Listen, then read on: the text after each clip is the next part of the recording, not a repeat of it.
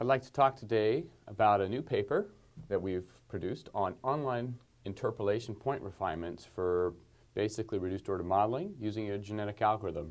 This is work with Susie Sargsyan, who is finishing her PhD this summer in applied mathematics here at the University of Washington, along with Steve Brunton, who is in the mechanical engineering department at the University of Washington, and I'm Nathan Kutz, uh, a professor here in applied mathematics at the University of Washington. So what I really want to be start thinking about is the idea of model reduction and some of the innovations around model reduction. And some of these are fairly standard.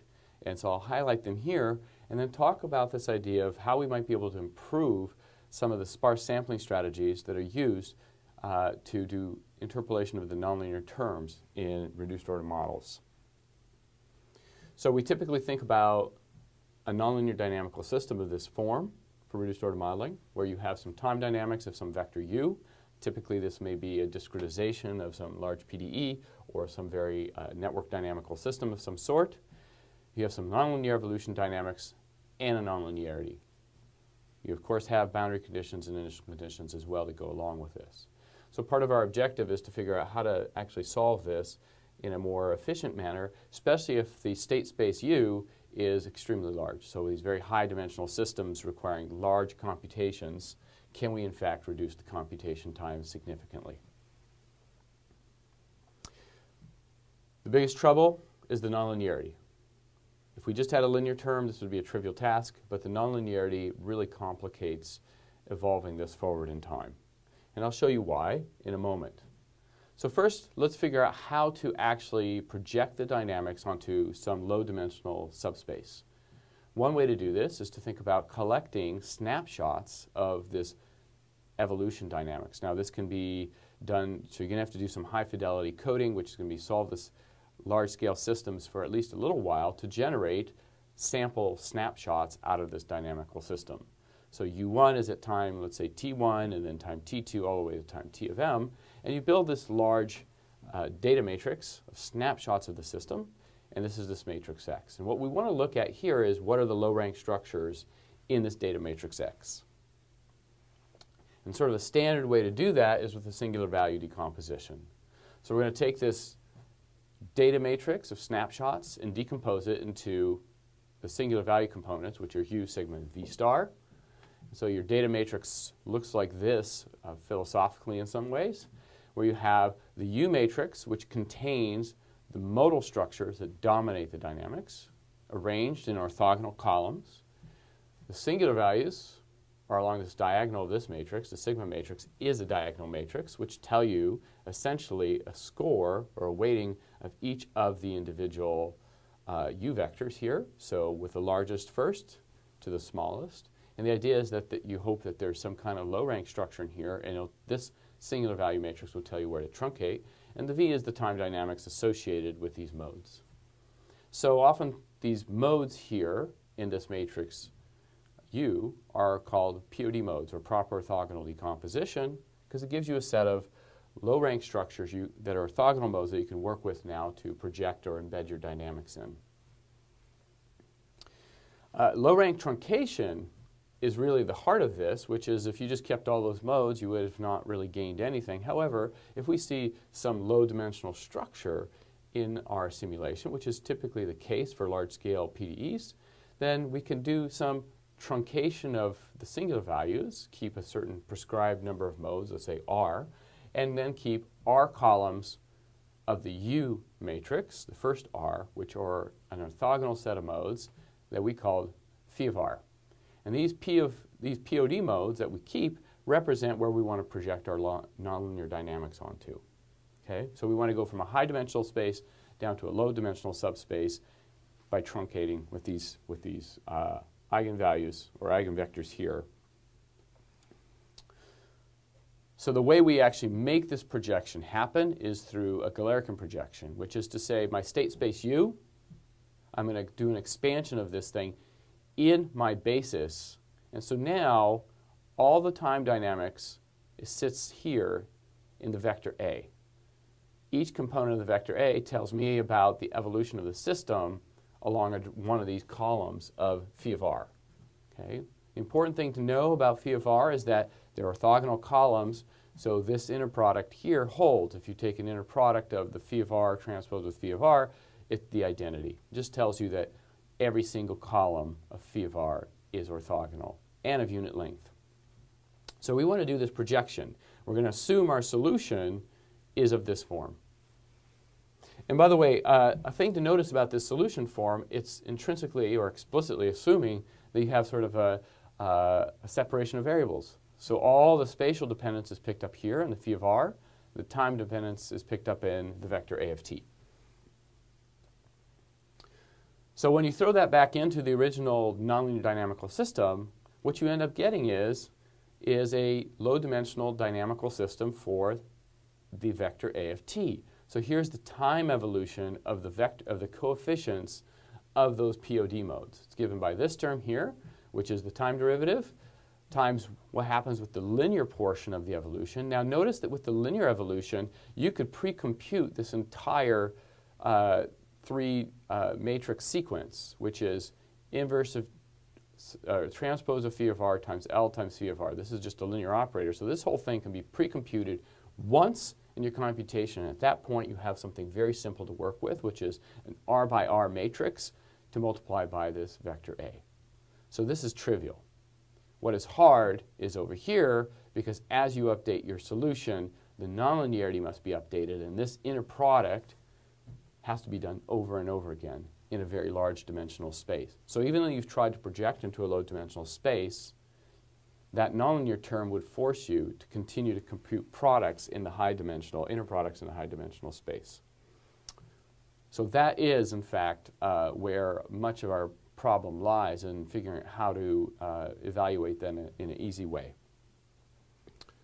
So let me just exemplify this with a very simple example. So let's just take something like a cubic term, u cubed. So there it is. Let's suppose my nonlinearity was of that form. Uh, and I'm going to just do a two-mode expansion. I'm going to assume that, in fact, I have just two POD modes. And I just want to ask, what happens if I have two POD modes? What's the complication it produces with something as a simple nonlinearity as this form? Well, if you put the two-mode expansion in, here it is, A1 times mode 1, A2 times mode 2, and then the inner products, just taking this through the cubic, generates quite a few number of terms. And each one of these you've got to take an inner product of, and each one of these you have to take an inner product as you update the, the, a, the values of A, you have to redo these inner products. So this is where the problem lies, is that this thing here can get out of hand very quickly. It can become very large, especially if you take uh, a much larger expansion than two modes and more complicated nonlinearities. But of course, this has been a problem for quite a while, and so people have figured out how to think about dealing with this. So just to, just to recap, I'm going to, in fact, frame this in the sense that there's really two big innovations in reduced order modeling. The first is what we've talked about here, which is take your nonlinear dynamical system, snapshots of the matrix, find the low dimensional embedding, which is given here. In other words, do a low rank truncation. So that's the first innovation, is that you take, by taking these snapshots, you can find this low dimensional structure that you're looking for and then you can project onto some dynamical system. That's only one of the major innovations in reduced order modeling. The second major innovation is in how to evaluate that nonlinear term, which will come through this idea of gappy uh, POD, or in other words, you sparsely sample to do nonlinear interpolation on that function. Okay, so there's, those are the two pillars of being able to really carry forward the agenda of the reduced order modeling. So let's talk about this idea of sparse sampling. It's an old idea in some sense, which is it goes back all the way to the work of Soro Sirovich and Everson, where they looked at gappy sampling to reconstruct uh, in an L2 way. Uh, you know, they, they took uh, pictures and they were able to reconstruct eigenface pictures with a small sampling of the pictures.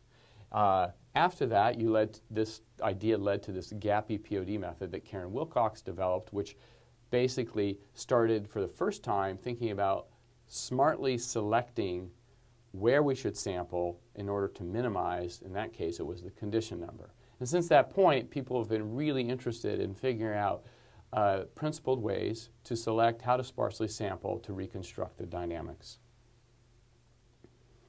So let me just give you uh, one that's more uh, recent innovation is on the idea of compressive sensing. And this idea is really very closely related, which is Uh, this is from a cartoon from Richard Baraniuk uh, in a review article on, on, on compressive sensing, which is if I know I have some kind of low rank basis in which the dynamic sits, which would be this matrix phi, and I know how to sample on it, here's my sampling matrix, phi, then what I want to do is have some kind of sparse representation of that solution. Suppose I believe, in fact, that given some basis set that my signal or my data is actually sparsely represented in that, then what I would like to do is set up the basis, the sampling, and take small number of measurements, and this gets us to our, the idea of sparsely sampling. And what I could do then is decide which of the small number of coefficients actually represent my signal of interest. And the way this is set up, this is just a big AX equal to B problem. But now, instead of looking for a solution, which is the best L2 norm for the solution, I look for the one with the best L1 norm. And by doing this L1 norm minimization, what I find is the sparsest solution set. And that allows me then to take a small number of measurements and reconstruct the entire state space of the system. So this has gained a lot of traction recently in the literature for a variety of reasons in signal processing, image reconstruction, medical imaging. We use this, and this is going to build towards what we want to talk about here, to do sparse sampling for fluids. And this is work with Ido Bright, Guang Lin, where we started thinking about, well, how do we use this kind of architecture, let's say, with a small number of samples on around that cylinder. And I want to do a three, few tasks. I want to be able to take a small number of measurements on the cylinder of the pressure. I want to be able to tell you what the Reynolds number is. I would like to reconstruct the pressure field around the cylinder and in the flow field, and then maybe even give you a future state prediction. And the architecture is based partly on this idea of compressive sensing, which is what we do is we do two steps in this process, and it's very much around machine learning ideas, which is first, you sample your data. And in fact, we're going to sample our data at various Reynolds numbers, and we're going to build POD libraries representing these different dynamical states. So you do your data sampling, you find your low rank truncation of this specific data, suppose this is for Reynolds number 100, and you keep those POD modes in some library. And then you do this again for different dynamical regimes, Reynolds number 40, 100, 300, so forth. So this is what's often called in, in the machine learning literature, this is sort of your, your, uh, your training phase of the algorithm. And then the execution phase is, is a little bit different. The execution phase assumes that you've built this library so that you know what the low dimensional embeddings look like. And so what we want to do is just take a small number of sensors, here they are, and use this compressive sensing algorithm to help us identify which of these libraries we should be using. So we basically now, in this case, unlike typical compressive sensing, here we're going to use point measurements for the dynamics. So we don't, oftentimes in compressive sensing, they take random projections. Here we take point measurements because that's more physically realistic around this flow around the cylinder. We take these measurements and we solve this AX equal B problem and only a few coefficients come on, which should be the case because generically the fluid should be in only one of the dynamical regimes. And we can look at the modes that come on and be able to say, identify which Reynolds number it's at, and then do a reconstruction of the dynamics. So we want to use that here, and we can see that, in fact, as the Reynolds number is increased, we do actually a very good job at uh, pretty often accurately predicting the Reynolds number and also reconstructing the full fluid flow. Now, what's not addressed in this kind of architecture is the idea of where do we put this the sensors. What we did is we, we had some idea of that we might want to put sensors around where the largest uh, uh, variable variability happens. In other words, where the minimum and maximum POD, POD modes occur. So this is what we did to do, make this work. But what we'd really like to do is find a more optimal way to do this.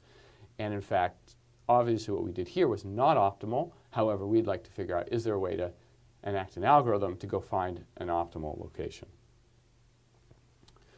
So part of the work towards doing this was also done with Susie Sargsyan and Steve Brunton. And this is a paper in Physical Review E where we basically started looking at a, a methodology for determining how to optimize sensor locations.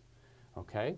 And so, and, and, and again, with the goal of reconstructing of dynamics and doing nonlinear interpolation of those reduced order for those reduced order models. So we normally would take a nonlinear dynamical system, we collect data in different dynamical regimes, okay, and here there's from beta 1 regime, beta 2 regime, all the way to beta j.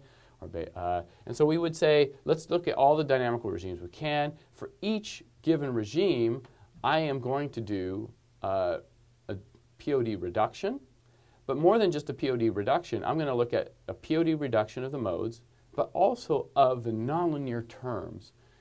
So I'm going to take the nonlinearity, do reductions of the nonlinearity. And this is very so closely associated with the uh, discrete empirical interpolation method uh, that is going to be the basis of what we do here. So we construct all of these, each of them telling me, the D, this DIMES algorithm is a greedy search algorithm telling me fairly good sensing locations. And so I construct all these and take sort of some average of where all these library modes uh, tell me where to put sensors. And then once I have that, I have sort of an optimal way then in terms of trying to figure out how to place sensors for both classifying the dynamics, reconstructing the dynamics, and giving me a future state prediction. And those are all the steps here. I won't go too much into this paper. If you want to see the details of this paper, there's also a, a, video abstract on my website that you can look at the details with, that Susie put together for this. And that's only one method that you might use. This, this DIMES algorithm is only one way to sort of get uh, near optimal sensor locations. It's not optimal, but it's, it does a very good job. Other possibilities are by using L1 optimization, and I'll point to this paper that will appear in SIAM, Journal of Applied Mathematics. And this actually is an optimal way to think about how to choose your sensor locations. And even as you increase the noise level in a system, you can start figuring out where I should put my sensors so that I can make optimal classification decisions about what Reynolds number I'm at. Okay? And really, part of the motivation for all of this is another paper I'll point out to you is by Krithika Manohar, Steve Brunton, and myself that's on the arXiv, which is we were looking at sort of flight dynamics and how do sensors on insect wings inform flight dynamics. So we have a model around this that was inspired by biology, which tells you there's a few neurons out on that wing that act as strain sensors. And these strain sensors seem to inform the creature about its flight dynamics. And so, how would you place these strain sensors? Because they are, in fact, in stereotyped positions and they are sparse. And so, we have an idea of how to place these so as to give maximal information content for, uh, for this insect to, to execute command decisions and so forth. Okay, so that's sort of this idea of sparse sampling, and now the whole point is to integrate sparse sampling with reduced order modeling, and that's the purpose of this, which people have done for quite a while. However, we have a new innovation around how to improve our, our sampling locations. So let's recall that we want to sparsely sample, and now I'm going to introduce this matrix P, which tells me a little bit about how I'm going to sparsely sample the dynamics. So my full state is U, I multiply by p and I get some reduced vector u tilde, which is a very small vector sampled, which is a sample of the large high dimensional space p. And p itself typically are rows of, the, uh, of some identity matrix, right? So this is telling you exactly where you're going to sample, right? When there's a 1 there, that means you're going to sample, and then the zeros aren't sampling anything. So the idea is that I want to use this sampling matrix where I have a small number of samples to reconstruct my full dynamics and actually to do the nonlinear interpolation trick that we need for evaluating the nonlinear terms in the reduced order base, in the reduced basis. So the way to do this is to think about a Galerkin expansion again, but now u tilde, if I just look back up here, p times u, and u itself is a times the, the, the, the POD modes, but now the coefficients a that I determined for this, I'm going to call them a tilde, they're going to be different than the a's I originally started with. The question is, how well is this going to be able to reconstruct for me, even because I'm severely subsampling now the original dynamics? So the DEIM algorithm, the DIMES algorithm that we are using, is the one that tells me where to select these p points in the first place. So the DEIM algorithm works in the following way. You basically take snapshots of the nonlinearity. So you take the nonlinear term, so before we had taken the full state of the system, taking snapshots, found the POD basis. Now you take snapshots of just the nonlinearity. In other words, what this is here is going to give you an SVD of the nonlinearity. So this is the low rank space, optimal low rank space, encoding this nonlinearity. So the nonlinearity itself can be expanded in terms of these basis modes here times some coefficient C of t. So the C of t is playing the role of A of t, where A of t was for the full system, C of t tells you exactly the projection on uh, the nonlinear in this nonlinear space. Okay? The algorithm itself is outlined here. You first construct your data matrix, construct the nonlinearity of the data matrix, SVD it to look at the low rank space. And once you have this low rank space, the, the interpolation indices are discovered in the following way in, some, in a greedy algorithm approach. You can look at the original paper by uh, Sorensen et al., and, uh, and, and, that goes really in de detail uh, on how to compute these uh, greedy points. And it's well known that these actually work quite well. So there, it's a heavily used algorithm, the Imes and Dimes algorithm. So here's what we have then. What we're going to do now is evaluate the nonlinearity in a low rank way. That is the whole purpose of this. So now I can project all my nonlinear terms into some low dimensional space, and instead of producing inner products on very high dimensional uh, vectors, I'm producing inner products on small vectors. And that's what the whole point of this thing is, is that I can now tell you how to sample, and these are going to give me the interpolation points, so I don't have to now sample the whole high dimensional system, but I sample some low dimensional system to give me a fairly accurate prediction of what the nonlinear terms look like. So this is the second major innovation, uh, in my view, around reduced order modeling. It's not just find a low dimensional subspace to project your dynamics.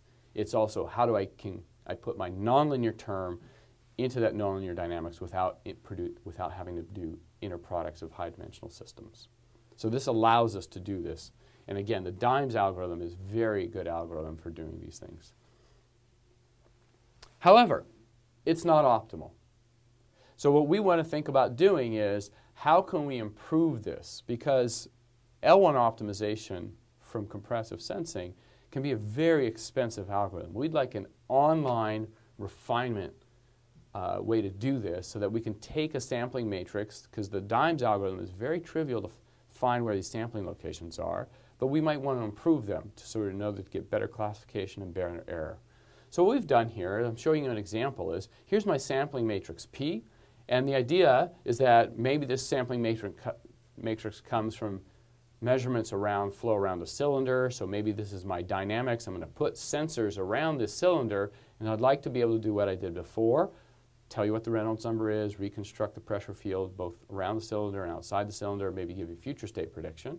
So if I only have eight measurements, let's say, where should I put them? The DIMES algorithm will tell you where you can put eight, but it's not optimal. So what I'd like to do, and this picture sort of captures this, is use a genetic algorithm to search around that DIMES solution. So genetic algorithms typically are very expensive, but however here, all I need to do is take a solution where I'm very close to optimal and modulate it a little bit. Another wiggle the sensor locations, around a little bit to see if I can in fact improve my performance. So each one of these moves a little bit to the left and to the right to see if we can in fact improve performance. So here's how the genetic algorithm works. You'd really like to minimize the error between your low rank vector and your projection onto from your high dimensional space. So you want to minimize this subject to a correct classification of the dynamics. Okay, so you're minimizing the error subject to the fact that it can still uh, classify the dynamics correctly. And the way this works is you take some candidate functions, jth guess is p of j. So you start by a uh, selection and you keep p of j, you maybe keep little p of them. So you're going to basically do a bunch of guesses, let's say m guesses, put them all into the system. And all these m guesses are perturbations or mutations of the DIMES algorithm. You keep the first p of them and discard the worst p plus 1 m of them. You take these best algorithms, you modify those through the genetic algorithm architecture. In other words, you evolve them, change them a little bit. You do this through many, several generations to hopefully converge onto a P of J that in fact is optimal and improves, and improves your performance relative to the DIMES algorithm. So here's the, the basic construction of the algorithm. So you construct a measurement matrix, and what we're doing for doing that is the previous work that, uh, of Sargsyan, Brunton, and Kutz in PRE, and we're going to start with that as our initial uh, measurement matrix, which is not optimal, but it does a very good job. And then what we do is perturb all these me measurements. We make new m new generations of this, and then we start selecting, down selecting from there the best performers and keep going at this until until we tell this thing to stop after some number of generations, in this case, m generations. Okay? So here's an example that we want to execute this on. I'm just going to give you one, a couple specific examples so you can see what the performance is like. This is the cubic quintic Ginzburg-Landau equation. Here it is. And the nice thing about this equation is you modify the parameters in this equation, you can get very different behaviors. So these are our dynamical regimes. So here's the beta 1. There's the, here's three different uh, dynamical regimes that are, are of interest. Each one of them has a very low rank representation of the dynamics. For instance, this regime is really a one-mode dynamics. Same thing here. This is a breather structure that has like five or six modes, uh, POD modes that would capture this dynamics. Now notice most of the dynamics centered around the origin. Uh, it's partly because we put our computational grid and our, and our initial conditions around there. And so what I can think about doing is saying, okay, well, if I have these POD modes, let me compare them against each other. And here, in fact, are some of these POD modes just over the range from 0 to 2.5. This whole domain is from negative 20 to 20. And now I'm looking at a blow-up region right around this origin area. And each dot here is the actual discrete point used in the computation. So I'm just showing a small subset. I've used 1,024 points here. Here are, in fact, the first 33 interpolation points from the origin and to the right. So you see, most of the dynamics is actually happening all in this area near the origin. So it seems that that would be a good place to put sensors. So in fact, keep this in mind, the first 1 through 33 interpolation points are basically measuring around the POD modes. And we're going to use that information because these turned out to be some of the best interpolation points available for you. Far away from this origin, there's nothing out here, so it's not a good interpolation point. All right, so the first thing we want to do is consider that restrained area from interpolation point 1 to 33. In other words, look near the origin. And what I want to do now is basically do a brute force search for the best locations giving me the smallest error. So if I take three interpolation points, where should I put them to minimize the error for the reconstruction? And so what this, and, and this is a small enough problem where we can actually do a full brute force search on all possible combinations. And in fact, here's what you're seeing. The first measurement location is here, second one is in the green, and the third is in the magenta. And this is going from the largest error to the very minimal error at the top here. And here's the error right here. So you start with a larger error, and as you come up here, the error drops down. And so your best interpolation points are represented in that top row.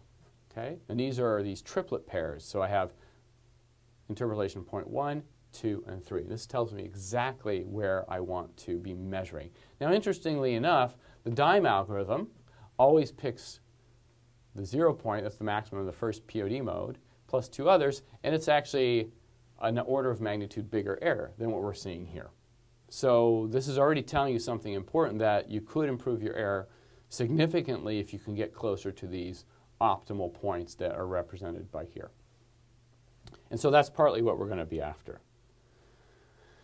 Here's a histogram, by the way, of the distribution of where those first three sensors are. So we saw that the first sensor or first interpolation point was around here, second around here, and the third had a pretty big spread. Okay?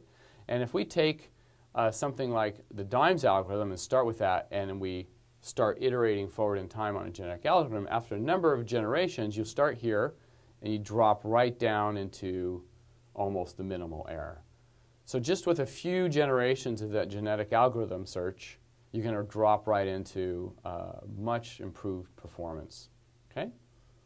So, and by the way, I should make a note, the magenta line is just your straight up DIMES algorithm, and how it drops down. And the second one here is that we notice from here that the first DEIM location in certain examples really doesn't give us very much information. The first dimes point is just simply, remember in the, in the DEIM's algorithm, it's a greedy search, but you start the whole search process by simply taking my first interpolation point is the maximum of the first POD mode, whether or not that is an important point or not.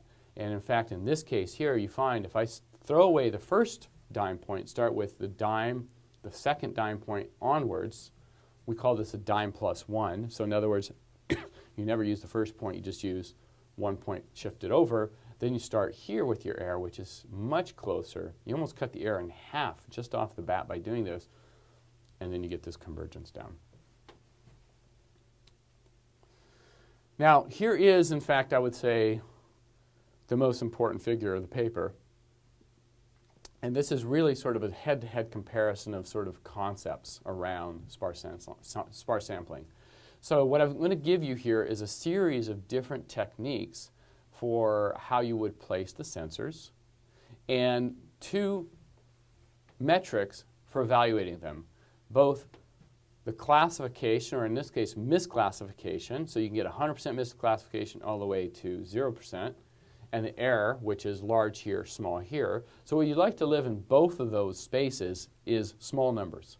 You want perfect classification if you can get it, and you would also like very small error. So what we're going to compare here is a bunch of gappy methods from, in fact, starting just up here, the, the worst one of all, which is just simply say, well, I have this large grid, 1,024 points from the simulation, pick three random points. So I never tell you where they are because these are, the, we're going to have to do many trials of this. But in general, you almost always misclassify, partly because here we were looking at classifying onto three different of the dynamical regimes, and this thing here just simply always gets the wrong regime. And you don't always get very good error with this, or the errors are kind of large, and then they start dropping. Okay? Uh, so there's three or four different uh, gappy techniques, including the fact that you can minimize uh, the condition number, you can take the minimum maximum uh, you take a random selection of the minimum and the max of the POD modes and so forth. And then we get down into this one right here, which is from these gappy methods down to the DEIM's algorithm. The DEIM's algorithm itself actually starts to do very well. This is why people have used it quite a bit, because without not a whole lot of work, the greedy algorithm already gets you pretty low error. And here's actually some of these errors here, in the some different versions of DEIM. However, they don't always classify the dynamics very well. So in fact, there's a lot of misclassification error. And the point of all this is that the bottom of this thing is the optimal solution found from brute force, and next to it is our DEIM's algorithm with a short genetic algorithm search, which almost gets you identical results from just simply a few uh, generations of the algorithm search to refine the sampling location. In fact, you drop your error by half and your misclassification goes down by orders, almost an order of magnitude by just simply executing this genetic search on top of your standard DEIM's algorithm. and so that's really the power of what we're trying to introduce here is there's this a very uh, simple algorithm so that you determine where your interpolation points are and you refine them with a quick genetic search algorithm and it can actually make quite a marked difference in both your error and your classification performance of different dynamical regimes. Here's a harder example. Uh, this is flow around a cylinder. So take Navier-Stokes, and what I've showed you here is four different representations of uh, basically POD modes, which are pressure field modes, on for different Reynolds number. From Reynolds number 40, I believe it's 150, 300, and 800.